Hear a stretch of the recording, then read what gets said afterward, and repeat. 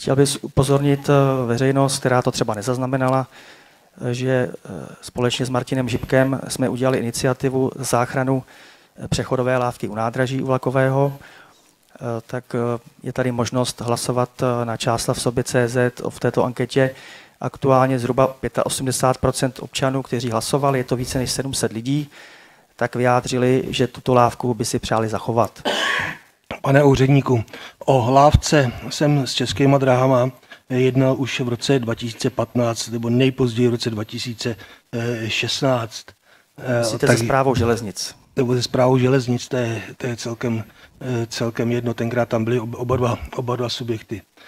Takže samozřejmě i v roce 2020, tuším, jsem, jsem jednal se samotným eh, eh, pro, eh, pro dopravu o této možnosti zachovat lávku, takže, takže nebojte, město, město se o to zajímá. To spíš byla informativní zpráva, protože nemám jinou možnost, jak to veřejně říct, tak jsem to chtěl využít.